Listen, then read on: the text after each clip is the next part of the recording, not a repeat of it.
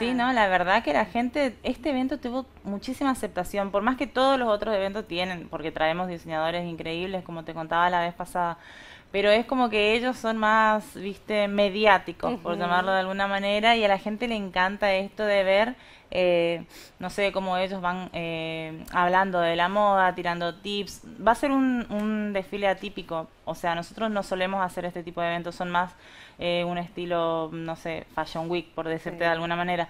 Pero en este evento sí decidimos hacerlo más comercial porque es el estilo de ellos, ¿no?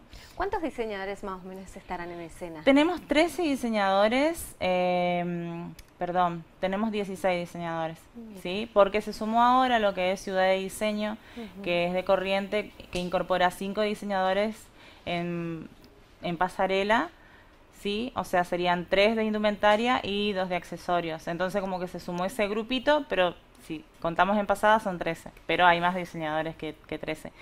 Y entre ellos tenemos de lo que es Chaco, Corrientes y el interior de, ambas provincias.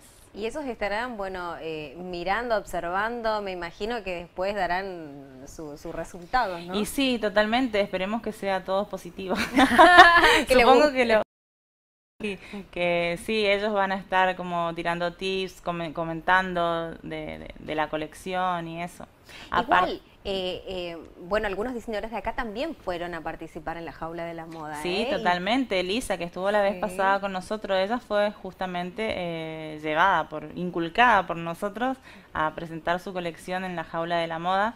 Fue con nuestras modelos también, la acompañamos y ella chocha. La gente que llevamos también fueron eh, Regia, que es de Lorena Lugo, de Corrientes, y Yoko, que es de Joana Luque, fueron con nosotros también a la jaula. Mm. Nos acompañaron y la verdad que toda la gente que va se queda enamorada porque realmente es un, lindo momento que viven.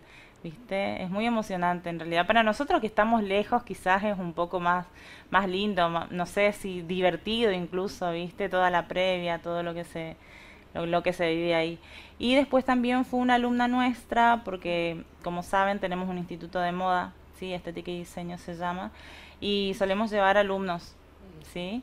En ese caso, bueno, una, una alumna el año pasado había presentado su colección en uno de nuestros desfiles y salió votada como para ir a presentar su colección. Ah, y este año llevamos, sí, a fin de año eh, se hace una votación porque hacemos otro desfile a fin de año donde participan todos nuestros alumnos de Chaco y de Corrientes y siete alumnos van a ir a la jaula de la moda. Ah, mira. Así que están todos nuestros alumnos también re contentos y van a ir a vivir esta experiencia que si bien ahora ellos no participan, pero sí ya les da una, una expectativa, digamos, de lo que será en Buenos Aires también y conocerlos a ellos. Ya tienen